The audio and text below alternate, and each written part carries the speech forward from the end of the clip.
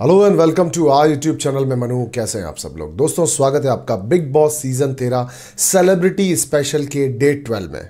दोस्तों, हम लोगों को बेसिकली ये देखने को मिल रहा है कि एक मिसअंडरस्टैंडिंग ज़िंदगी के अंदर कितने सारे बवाल ला सकती है।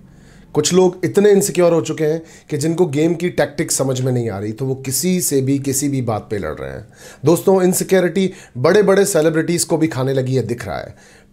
पारस का गेम बिल्कुल खराब हो चुका, उसे कुछ समझ में नहीं आ रहा है। मायरा शर्मा अपने गेम में लीड करती जा रही हैं। जो वो चाहती थी वो होने लगा है।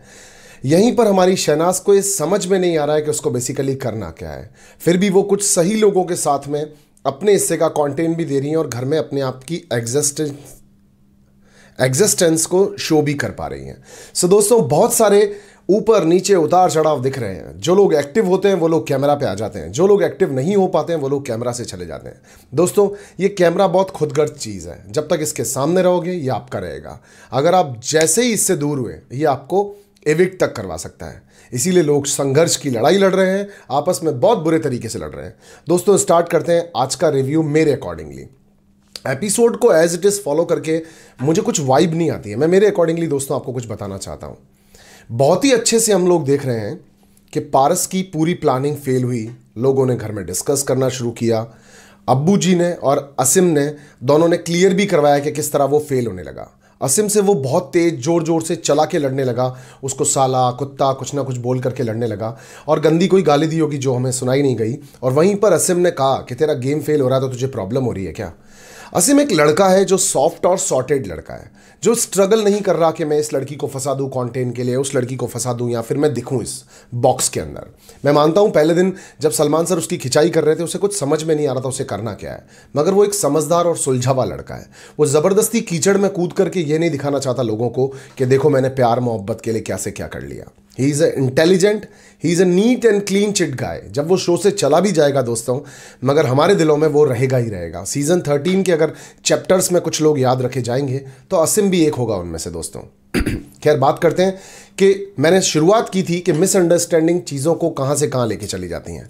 सो so, दोस्तों मिसअंडरस्टैंडिंग की बात करें तो वहाँ पर हमारे सिद्धार्थ शुक्ला को ये लगने लगा है कि शायद रश्मि उनके लिए बहुत गंदा बोलती हैं। रश्मि उनके लिए प्लानिंग प्लॉटिंग करती हैं। और वहीं पर एक झगड़ा होने के बाद, वहीं पर एक झगड़ा होने के बाद वो लोग थोड़े से आपस में अलग अलग होते दिखे। रश्मि तो बिल्कुल अपना टॉप फ्लोर को छोड़ करके बिल्कुल अब खुल के सामने आ गई हैं। हर बात पे उसके बारे में अच्छा बुरा बोल रही हैं। उसको पता नहीं क्या क्या कह रही हैं। फेक है हिपोक्रेट है, पता नहीं क्या क्या है। मैंने बहुत सारी चीज़ें लिख रखी है, लेकिन हम बात वन ऑन वन कर रहे हैं तो हम वो करते हैं, ज़्यादा बेहतर रहेगा। और वो आरती के साथ में भी उस बारे में डिस्कस कर रही है, वो अबू जी से भी उस बारे में डिस्कस कर रही है। दोनों के अंदर एक सॉफ्ट ग्रुपिज्म की फाइट होना शुरू हो गई है। दोनों लोग अपनी अपनी टीम बिल्ड करना चाह रहे हैं और लोग भी उस टीम का हिस्सा बनते जा रहे हैं। कल सिद्धार्थ ने एक बार भी नहीं चाहा कि रश्मि के साथ वो, रश्मि की मटकी किसी भी तरह से फूटे। क्योंकि बिकॉज़ न वो उसकी मटकी फोड़ना चाहता था, न वो उसकी मटकी को एंटरटेन करना चाहता था कि एक क्वीन बने। वो बस अपनी ही स्ट्रेटजी को मेंटेन कर रहा था। शहनाज, जो कि उसके साथ रहती है, उसकी दोस्त है, वो शहनाज को सपोर्ट करना चाहता था कि ठीक है, तेरी जो मर्ज़ी है, कर ले। बट रश्मि के लिए अगर वो बोलती तो वो कॉल नहीं लेता। पारस से हमने सिद्धार्थ का दो बार झगड़ा होता हुआ देखा। एक बार फ़ूड के ऊपर झगड़ा हो रहा था, एक बार रिलेशनशिप्स को लेकर के हो रहा था। सिद्धार्थ वहाँ पर point to point cut to cut बात कर रहा था। पारस सारे घर को एंटरटेन करने के चक्कर में कैमरा को दिखने के चक्कर में बेसिकली एंटरटेन नहीं कैमरा को दिखने के चक्कर में, इधर से उधर बातों को इधर से उधर करता है। तो उस वजह से वो आज फंस गया था। तो सिद्धार्थ से भी उसका कल वाले बात पे डिस्कशन हुआ कि हमने किसकी मटकी फोड़ने का प्लान किया था, हमने किसके लिए क्या किया था। सिद्धार्थ अपनी बात पे स्टैंड था। सिद्धार्थ वहीं पर बार बार यही कह रहा था कि तेरे को तेरे लव एंगल और ट्राई से मतलब होगा, मैं मेरी चीज़ों को अपनी जगह पर रखता हूँ, जैसे मुझे ठीक लगती है, मैं वैसे ही करना चाहता हूँ। फाइनली हम लोगों ने यह भी देखा कि पारस एक बार सरकाजम वे में ही जाके माफिया मांगने लगा सॉरी बोलने लगा बिकॉज़ वो चाहता था कि कहीं ना कहीं सिद्धार्थ से कॉम्प्रो हो जाए, अपन को काय को बराबर के एक सांड से लड़ना है। घर में अगर इससे अपन लड़ लिए तो शायद सेटिंग बैठेगी नहीं। हो सकता है कुछ पॉजिटिव मेंटेलिटी भी हो उसकी, मगर जो दिखा वो मैं आपसे शेयर करना चाह रहा हूँ बिकॉज़ वो काफ़ी सरकाइजम में था और सिद्धार्थ शुक्ला ने सामने से कहा भी you should you should be sorry for that वहीं पर रश्मि ने तो ये तय कर ही लिया है कि सिद्धार्थ मेरे लिए बहुत गंदा बोल रहा होगा, बहुत बुरा चाह रहा होगा, वो मेरी मटकी फोड़ना चाहता होगा। I am sure about it Salman sir आकर के फ्राइडे को सैटरडे को सॉरी सैटरडे को क्लियर करेंगे। रश्मि को स्पेशली वो आँखें खोल के समझाना चाहेंगे कि रश्मि, ऐसा कुछ नहीं है, जो तुम देख रही हो वैसा नहीं है। सिद्धार्थ ने नहीं चाहा था, बल्कि पारस ने चाहा था। वहीं पर मायरा की बात भी बाहर आते आते रह गई कि मायरा भी रश्मि की मटकी फोड़ना चाहती थी। लेकिन वो बात भी मैं आपको श्योर कह रहा हूँ सैटरडे के कंटेंट में लिखी हुई होगी सैटरडे को क्लियर होगी। दोस्तों, अगर आपकी लाइफ में भी कोई ऐसा है जो आपकी गर्लफ्रेंड के साथ या फिर आपके बॉयफ्रेंड के साथ बहुत अच्छा दोस्त है, आपको उससे थोड़ी बहुत प्रॉब्लम हो रही है, थोड़ा बहुत जेलस है, मगर आप कुछ कह नहीं पा रहे हो खुल के तो दोस्तों, ये सही मौका होगा, आप बोल दीजिए। सीज़न थर्टीन एक बहुत अच्छा लेसन है आपको बताने के लिए कि किस तरह से, आसानी से, दोस्ती दोस्ती दोस्ती के नाम से कैसे एक लड़की धीरे से बाहर निकल गई शनाज उसको पता भी नहीं चला और माहिरा और वो दोस्त हो गए। आज तो एक बार गले मिलने की बात पे गले नहीं मिल सकते, गले नहीं मिल सकते और फाइनली वो लोग गले भी मिले। उसके सामने ये सारी हरकतें मत कर भी कहा गया।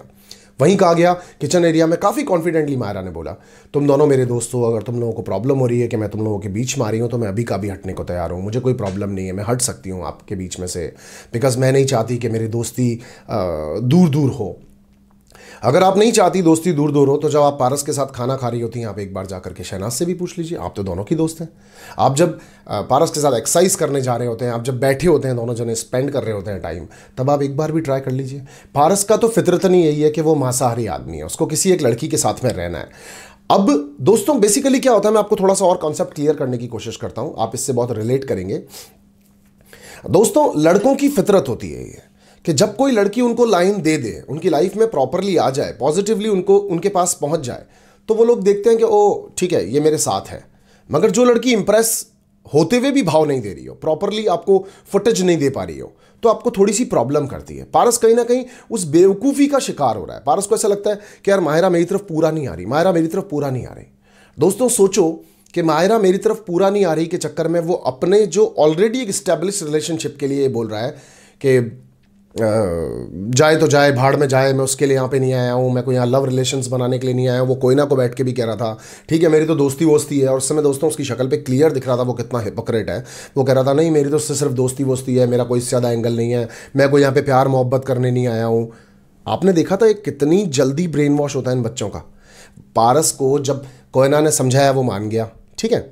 माहिरा को कल दलजीत ने समझाया, वो मान गई कि मैं सेकेंड लीड नहीं बनना चाहती हूँ, है ना? क्या आपने एक बार भी देखा कि सिद्धार्थ शुक्ला, जिसकी दोस्त है शहनाज, वो उसको ट्राई कर रहा है समझाने की कि आप रिलेशनशिप में रहो या नहीं रहो? दैट्स कॉल्ड अ मैनशिप है ना? वो इन बारों में बातों के बारों में बिल्कुल भी नहीं बोल रहा, है ना? वहीं पर मायरा धीरे धीरे धीरे धीरे कब अपने दोस्त के साथ बिल्कुल क्लोज हो चुकी हैं, वो लोग एक अपना एंगल बना चुके हैं। आज तो शहनाज ने नॉमिनेट भी कर दिया एक बार और वापस से लाइक पहले वो कर चुका था, अब उसने भी अरसा वरसा हो गया, उसने भी नॉमिनेट कर दिया। तो अब ये रिलेशनशिप तो दोस्तों खत्म होता ही दिखाना शहनाज फिर भी इंटरटेनर है। वो किसी ना किस तरह घर को कंटेंट दे रही है। हॉट समर पे उसने डांस कर लिया था, लोगों के साथ में बात करती है, सिद्धार्थ शुक्ला के साथ में चॉपिंग कटिंग करती है, वो सबके साथ थोड़ा सा एक माहौल बना के रखती है। मैं उसका पॉजिटिवली फेवर बिल्कुल नहीं ले रहा हूँ। लेकिन दोस्तों, आप सोच के देखो कि एक लड़की के साथ अगर ऐसे डिच होता है, एक लड़की के साथ अगर ऐसे डंप होता है तो थोड़ा अजीब तो लगता है ना? मेरा बंदा मेरा बंदा अगर वो नेशनल टेलीविज़न पे बोल रही है तो थोड़ा सा वो चीज़ अजीब लगती है। वहीं पर देखो महाराणा ने स्ट्रेटजी मतलब पूरी प्लानिंग के साथ में थोड़ा भाव खाते खाते खाते खाते खाते खाते खाते खाते, कब बंदा अपनी तरफ़ कर लिया पता ही नहीं चला। अभी भी उस लड़के को यही गलत फहमी है कि मैं रिलेशन बिल्डअप करना चाहता हूँ, मैं बिल्डअप करना चाहता हूँ, मेरी दोस्त है, मेरी दोस्त है। अरे बाबा, तेरी दोस्त है, हम मान गए। तुझे पता चल रहा है तेरे साथ हो क्या रहा है? Paras you are not a gamer in this case you are a innocent fool in this case कि जो हाथ में था, उसको गंवा करके हम परदेश को चले और कमाने को। ये कहावत आप पे बिल्कुल सेट होती है। चलो सेट होती हुई सी बातों से आते हैं। कोयना मित्रा जी को लग रहा है कि शायद वो सेट नहीं हो रही अब कोयना मित्रा जी के लोगों ने कुछ भी कहना शुरू कर दिया। और वहीं पर आरती पलट करके जब उनसे बहस कर रही थी तो कोयना जी भी बहुत बिलो द बेल्ट जाकर के वर्ड्स को बोलती हैं। वहीं शहनाज को भी उन्होंने कहा, मुझे ये पसंद है, लोग मुझसे डर, मुझे ये पसंद है। सर्वेंट से बात नहीं करती मैं लोगों के। आप भी इस तरह से मैडम किसी को नहीं बोल सकती और स्पेशली इन बच्चों को तो नहीं जो उनको पता ही नहीं है कि उनको करना क्या है। अगर आप उनको ऐसे बोलोगे तो वो लोग तो ट्रैक से चले ही जाएँगे। आरती बेसिकली दोस्तों कंफ्यूज हो गई है, उसको ये समझ में ही नहीं आ रहा कि उसको करना क्या है। उसको फुटेज के चक्कर में बेसिकली वो किसी से भी लड़ रही है, किसी के भी पास जा रही है, किसी से भी कंप्रो करना चाह रही है। रश्मि अपनी टीम को बड़ा करने के लिए आरती को कह रही है, मैं तुझे कल से नोटिस कर रही हूँ, तू मेरे पास नहीं आ रही। अगर तू मेरे पास नहीं आएगी तो तेरे को प्रॉब्लम हो जाएगी, वरना ठीक है, अपन बात ही नहीं करते हैं आपस में। तो मतलब ये सिद्धार्थ शुक्ला सॉफ्टली और वो हार्डली दोनों लोग आपस में टीम टीम करने की कोशिश कर रहे हैं। वहीं पर एक आदमी आज नंगा हो गया मतलब बाय डिफ़ॉल्ट राइटर साहब को कोयना जी ने नंगा देख लिया। वो गेट खुला हुआ होगा। फिर उस एक सुंदर से ग्रुप लाइक असिम ने, सिद्धार्थ शुक्ला ने शहनाज ने अब्बू जी ने वहाँ बैठ करके बहुत सारी मस्तियाँ की और छेड़ रहे थे उसको वो। वहीं पर दोस्तों अबू जी की बात करते हैं कि अबू जी ने रश्मि जी को खाने के लिए शायद मना किया होगा कि मैं ये खाना नहीं खाऊँगा। वो उनका कॉल है, अगर वो नहीं खाना चाहते हो तो। आप इसमें भी सोच रही हैं कि सिद्धार्थ शुक्ला ने उनको मोटिवेट करके भेजा होगा, सिद्धार्थ शुक्ला ने उनको पोक करके भेजा होगा, तैयार करके भेजा होगा। आप दोनों की मिसअंडरस्टैंडिंग सॉल्व होनी बहुत ज़रूरी है, जो कि सैटरडे को हो जाएगी। और अगर होती है तो बेहतर है आप लोगों के लिए। बिकॉज़ आप अगर अपने आ, मैं क्रिएटिव्स को दाद दूँगा कि क्रिएटिव्स जिस कारण से इनको अंदर लेकर के आए थे वो कारण इंडिया को दिखने लगा। आज ये भी क्लियर हो गया कि पारस ने एक बार जाकर के तो सिद्धार्थ शुक्ला को सॉरी बोला कि मैं आपसे लड़ना नहीं चाहता मेरा जो परसेप्शन था आपके लिए बाहर बाहर अब मैं अंदर आया तो मुझे पता चला आप बहुत सुलझे हुए और सही इंसान है और मैं मेरे हिस्से की सॉरी भी माँगता हूँ। उन्होंने कहा तेरी पर्सनल लाइफ है तुझे जो करना है वो कर।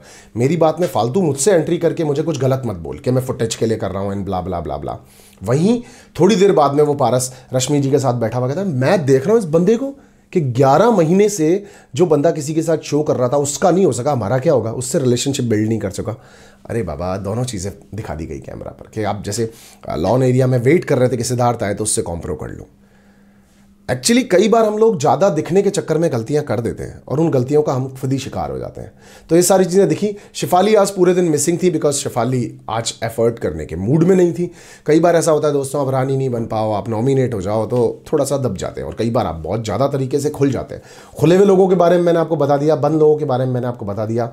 आज की लड़ाई जो पारस ने ज़बरदस्ती की अपना फ्रस्ट्रेशन निकालने के लिए, पिछले दो तीन दिन से वो असीम से लड़ा नहीं था तो उसको मौका मिल गया, वो असीम से लड़ लिया। बाकी असीम मैंने आपको पहले ही बता दिया, अपने कपड़े गंदा करता नहीं किसी गलत बात में पड़ता नहीं है। सो so, ये था दोस्तों मेरे अकॉर्डिंगली आज का रिव्यू और इसके अंदर एक चीज़ स्पेशली हम लोगों ने बात नहीं की ब्लैक रिंग की बात करते हैं दोस्तों। किस किस ने किस किस को किस किस रीज़न के साथ में ब्लैक रिंग दी। आरती ने पारस को दी दोस्तों ब्लैक रिंग और यही कहा कि you are going on a wrong path तुम गलत जा रहे हो, तुम्हारी जो स्ट्रैटेजी है, तुम जो चीज़ें करते हो, जो चुगलियाँ उगलियाँ करते हो, वो सब चीज़ें मुझे समझ में नहीं आती हैं। डन एग्री में आप आरती में आपके साथ हूँ, मगर आपको भी पता नहीं है बेसिकली आरती करना क्या है। तो अभी आप सॉफ्ट इसको ढूंढ के आज झगड़ा हुआ ताज़ा ताज़ा आपने इसको नॉमिनेट कर दिया, वरना लड़कियाँ आपस में एक दूसरे को नॉमिनेट कर नहीं रही हो आप। दोस्तों, दूसरी ब्लैक रिंग कोयना मित्रा जी ने सिद्धार्थ को दी का मैं इनको जेंटलमैन समझती थी, मगर ये बहुत एरोगेंट है, इनका बिहेवियर अच्छा नहीं है। He should learn how to talk with girls इन्हें मालूम होना चाहिए लड़कियों से कैसे बात करनी है। ठीक है कोई ना जी, आपके अकॉर्डिंगली ये भी बात ठीक है, क्योंकि कल उन्होंने आपको सपोर्ट का कहा था और मेरे से, इससे से शायद उन्होंने ट्राई भी की। शेफाली ने सेम पारस को कहा कि इनको रिश्ते निभाने नहीं आते, वो बेसिकली बात कर रही थी शहनाज के साथ, जब वो चीट कर सकता है तो वो किसी के साथ भी कर सकता है। और ये बात कई हद तक मैं भी इसको सही मानूँगा, कोई गलत बात नहीं और शहनाज के पास इसके अलावा, और शेफाली के पास इसके अलावा और कोई रीज़न भी नहीं था कि वो किसको नॉमिनेट करें। रश्मि जी ने सिद्धार्थ को किया और कहा, औकात पे नहीं जाना चाहिए। बहुत अनकंफर्टेबल बिहेवियर है इनका मेरे साथ में। बिल्कुल अच्छे से बात नहीं करते हैं। औकात की बात को वो आपको क्लियर कर चुके थे। अच्छे से बात नहीं करते हैं। वो मैं भी मानता हूँ कि उन्होंने आपसे बदतमीज़ से बात की थी, मगर आप दोनों लोगों ने इक्वली की थी। वो भी आपको नॉमिनेट कर देते अगर कल चाहते तो मटकी आपकी फुड़वा देते, मगर उन्होंने ऐसा कुछ किया नहीं। खैर, आपको भी जिस दिन क्लियर हो जाएगा यू ऑल्सो फील लाइक कि हाँ यहाँ पर इतना गलत नहीं था जितना आप दोनों को लग रहा था। शहनाज ने पारस को किया और उन्होंने कहा, मैं इससे बाहर निकलना चाहती हूँ। बिकॉज़ ऑफ़ एक बंदा, दो लड़कियों को कंटिन्यू यूज़ कर रहा है, दोनों के साथ में मिस कर रहा है, दोनों को समझा नहीं पा रहा। कहीं ना कहीं शहनाज भी अभी इस केस के अंदर इनोसेंट है। दोस्तों, उसको भी समझ में नहीं आ रहा कि माहिरा बेसिकली चाह क्या रही है। दोस्तों, कई बार क्या होता है ना कि आप शो को शो की तरह देखते हो। आप शो को एक रिव्यूअर की हैसियत से जिस दिन देखना शुरू करोगे ना, आपके दिमाग के अंदर एक बत्ती जलने लगेगी और आप देखोगे लोगों के सेंसेस कहाँ जा रहे हैं, लोग क्या सोच रहे हैं। जैसे मैंने आपको आज जो बताया ना कि पब्लिक में आकर के सबके सामने ऐसे बोल देना कि मैं पीछे हट जाती हूँ, मैं दूर हट जाती हूँ। आप दस बार उसके पास आने पे मना तो करो उसको कि मैं दूर हट रही हूँ तुमसे। तब हम बिलीव करना शुरू करेंगे ना कि आप दूर हट रहे हो। किसी का घर टूट चुका है, टूटने वाला था, टूट चुका है, वो लोग अलग हो गए, मगर आप दोस्त हो। कौन से वाले दोस्त हो? खैर, दोस्तों, इसके आगे बढ़ते हैं, उसके बाद में माहिरा ने सिद्धार्थ जी को किया और कहा, इन्होंने हमें चांस नहीं दिया। अड़तालीस घंटे तक अंदर थी, उनको चांस नहीं दिया। Madam you have to build up a relation that kind of a relation की people should take you out for the मटकी के, जाओ जाकर के फोड़ो। और वहीं पर कोयना जी ने भी यही एक्सक्यूज़ दिया था कि उनको भी बाहर किसी ने नहीं बुलाया। तो सिद्धार्थ ने क्या ठेका ले रखा है आपको बाहर बुलाने का। आपको उसकी जिसके साथ ट्यूनिंग होगी, वो उसको बाहर लेकर के आएगा। आपने तो बहुत सारी बातें हैं पारस से भी की थी, वो भी आपको कहाँ लेकर के आया बाहर? कोई ना जी? आप थोड़ा सोचो। आप बहुत ज़्यादा अच्छे से बात कर रहे थे, आपके अंदर लीडरशिप क्वालिटी है, आप बहुत अच्छे से बात कर रहे थे, मगर विद इन अ वीक आपने वो इसलिए खो दी बिकॉज़ आपने पेशेंस बहुत जल्दी तोड़ दिया। अगर आपका रहने में इंटरेस्ट है तो मैडम कपड़े गंदे करने पड़ेंगे। अगर आपका घर में रहने में इंटरेस्ट नहीं है तो फिर आप क्लीन चिट लेके बाहर जा सकते हो। दोनों चीज़ें नहीं चलेंगी मैडम। ये बिग बॉस का घर है। कैमराज बता देते हैं हर चीज़ के बारे में। और स्पेशली घर वाले भी समझ जाते हैं, चौबीस घंटे आपके साथ रह रहे हैं तो। देबो जी ने पारस को किया और वो यही कहा कि बहुत मिसअंडरस्टैंडिंग बना के रखता है, इस वजह से सारा घर एक दूसरे को समझाने में पूरा दिन निकल जाता है। सो मैं चाहती हूँ ये क्लियर करें। उसने कहा, मैं करना भी नहीं चाहता। और यही चीज़ मायरा को सिद्धार्थ ने भी कही थी। Okay happy for you thank you Daljeet ने सिद्धार्थ डे को किया और वो अपने बच्चे का सेम एक्सक्यूज़ उन्होंने एक बार और दिया कि ये मेरे बच्चे का नाम ले रहा था जो कि चीज़ मुझे बिल्कुल पसंद नहीं आई। सो so, नॉमिनेशंस सिद्धार्थ के पास सिद्धार्थ शुक्ला के पास चार ब्लैक रिंग्स हैं पारस के पास चार ब्लैक रिंग्स हैं सिद्धार्थ डे के पास तीन है अबू जी के पास भी शायद तीन है। आसिम के पास तीन है और अबू जी के पास है बाकी की रिंग्स सो दोस्तों, इस तरह से ये नॉमिनेशन हुए। अब लड़के भी नॉमिनेटेड हैं। कल देखते हैं लड़कियों को चांस मिलने वाला है कि वो अपने आप को कैसे क्लीन चिट दिला सकती हैं। दोस्तों, मैं बेसिकली आपको एक चीज़ कहना चाहता हूँ। जाते जाते। दोस्तों, हमारे जो पास है लोग, हम एक्चुअली उनको थोड़ा सा ग्रांटेड ले लेते हैं। हम उनके होते हुए उनकी अहमियत नहीं करते हैं।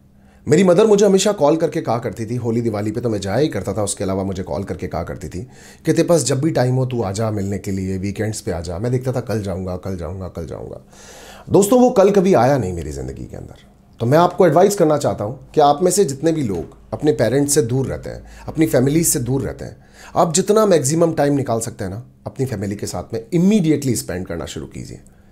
ये ज़िंदगी बहुत खूबसूरत है। हम अपनों के साथ जितने लम्हे बिताते हैं ना वो हमेशा के लिए हमारे लिए यादगार लम्हे होते हैं। अब अब शायद टेक्नोलॉजी थोड़ा चेंज हो गया तो हम लोग वो नहीं करते हैं। वरना अदरवाइज़ पहले किसी की शादी के एल्बम्स को देखा जाता था घर के फैमिली एल्बम्स को निकाल निकाल के देखा जाता था और उनके अंदर ना एक फीलिंग होती थी। उन ब्लैक एंड वाइट इमेजेस के अंदर हार्ट और सोल और वाइब्स आती थी।